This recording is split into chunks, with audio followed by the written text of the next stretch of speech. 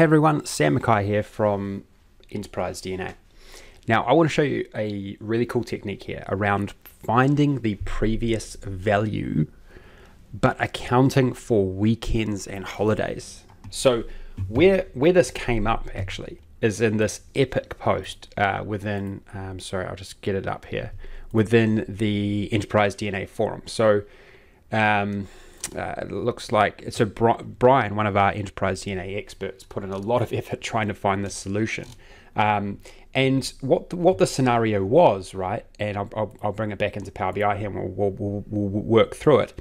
Is that we wanted to the the um, uh, the use the um, developer of this report wanted to calculate the percentage difference, right? But but we didn't want to just look at the percentage difference one day after the next. We wanted to make sure that it was only for when, say, um, something was open, uh, like a store was open, and the store's only open from Monday to Friday. So when you get to Monday, what you need to be able to do is go and grab the previous value, right? Now, what makes this a little bit more complicated is that we're actually looking at percentage values. So we first of all need to, to calculate the percentage then we need to go and work out our logic to go and retrieve the value from the prior day, right? The prior day that the store was open. And so here you need to take into obviously account the weekends, but also holidays if they um, if they are part of your date table as well. Now, quick tip: if you want to include holidays within your date table, come and check out the uh, in in the forum. Come and check out the. And this is I've created a video on this. This is how I create my date tables. Right, go go to the M code showcase and go to extended date table. And this is the this is um, the ultimate date table, which has been created by one of um, one of our experts as well, Melissa. Uh, this is constantly updated and it enables you to create holidays. Okay, there is a separate video on our channel as well that goes through how to add the holiday table to this particular um, code. Okay, so you just need to input this code first, then there's a, a separate section where you can input your holidays. Now, once you do that, you can then create a formula which goes and calculates up a result or calculates up, say, a um, uh, well, it, it calculates up a result, but it changes the context in which it um, shows the result. So, for example, we're calculating, if you look at this particular result here, you'll see that Monday, Tuesday, Wednesday, Thursday, Friday, it takes us to the next day, the next day, the next day, the next day. You see here that it's just sort of moving across here, which is great, right? In terms of in terms of the calc. But when we get to the next Monday, we can't go and use a time intelligence function here, right? Because um, you know there is a there is a there is a time intelligence function called previous day, but um, the that doesn't work when you're trying to skip days, right? And you have to bring in holidays, etc. And so what we're trying to do here is we're trying to say, okay, on Monday I want to go and retrieve Friday or the very last day that we were open. Okay.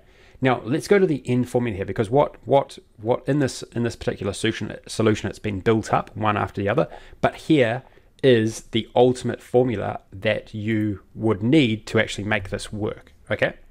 Now let's just have a look at each each part of it, right? So it, it looks a little more, more complicated than it actually is, okay? But um, basically what we're trying to do here, we're trying to get the current date, but then also go and grab the previous date, taking into account all of the um, all of the things we're, we're, we're trying to avoid, like weekends and holidays, right? And so we still, what we're trying to do is we're, we're trying to ca- calculate up the max date, but then we have all of these, um, this list of, um, this logic that we need to iterate through um, within the filter function, right? So we have calculate, work out the max date, but change the context in which we calculate that max date we want to filter filter and go through all go through all dates, which is what, what we're doing with the all function here. Then we only want to look at dates which are below the which is the SEL date or the current date. That's another way to think of it. We want to avoid any days of the week which are, uh, I think zero is Saturday in the date table. Avoid all the days of the week which are uh, Sunday, which I think might be six. Uh, yeah, it might. Uh, yeah, Yes. No, I think I think Sunday is zero and Saturday is six. Then um, also, if it's a holiday, equals to false, and that's where that holiday um, holiday part of the date table is really, really key, right? So you see how you can embed all of this logic into the filter function to actually retrieve a value. And then when we have the max date or the previous date, well, then we just need to insert it into this part of the formula, right? So here we're saying, okay, go and calculate up what the orders were delivered on the previous date. Again, we're using filter all dates, date equal to previous date. So we're only going to retrieve the order value from the very previous date. And then what we've um, done here, delivered quantity, and this is this is a um, again doing exactly the same technique, but getting the comparison value, the total quantity, and then we're going to divide the previous um, the, this variable by this variable to give us the percentage result of the previous day, right? So you see here that it's it's basically to, to get to retrieve this, it's jumping back to these two values here dynamically to then give us the change. And then if we want to work out the difference between what it was on the on the current day and the the next the very next day, well then we've got those two values, right? So all we've got to do is go percent delivered versus the previous value. Um, in this particular case, it looks like there's a there's another one that which hasn't been brought into this particular table. But what what um, I think Brian did in the solution is, is he originally had it all uh, within uh, different measures, but he's then said, okay, well, this is what it looks like if you put it all together. So so I, I like that. I like it how you build it up first, um, so that you you understand each individual part of the formula because it's hard to um, really dissect what each variable is doing um, in a big formula like this. So if you build it up first in individual measures, you can put them next to each other within a table. And then once you've got the right result, if you don't need any of those intermediary measures, well, then you can aggregate them all up into one measure using variables, right? And this is quite a clean way to, um, to use this.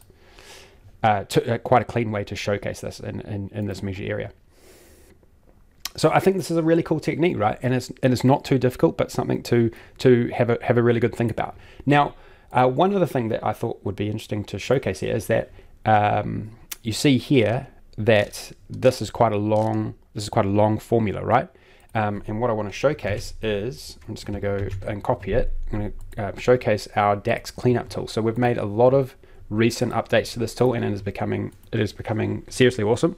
Um, so i have copied that entire formula and all I need to do is paste it into here go format and then so you see here that this is a slightly different format and I prefer I kind of prefer it actually. It's a it's a it's slightly more condensed right? Um, and uh, to me this this reads easier. It honestly does to me. I mean there might be a few adjustments i might make maybe um, but uh, maybe but but the great thing is is you can actually edit it in here. So i'm gonna i'm gonna bring this down to another row here. Um, maybe i might put it out one actually.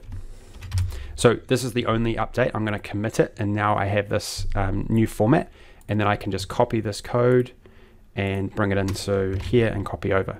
And I think that see that looks much easier to understand, right? In my in my view, maybe you disagree, but I, I I definitely like the more condensed version. Okay, so hopefully you enjoyed that one. Um, really exciting updates to the DAX cleanup tool, so so definitely check that out. Um, if you if you haven't, it's part of our Analyst Hub platform, which we're making some huge updates to. But hopefully, um, you know, you got a lot out of me showcasing this technique to you. Just a few steps to it. Um, thanks to uh, Brian on the forum, who who just literally provided some epic support in this thread. Um, you know, just just just really uh, you know just really putting a lot of effort to, to to help out. So you know, doing amazing work on there.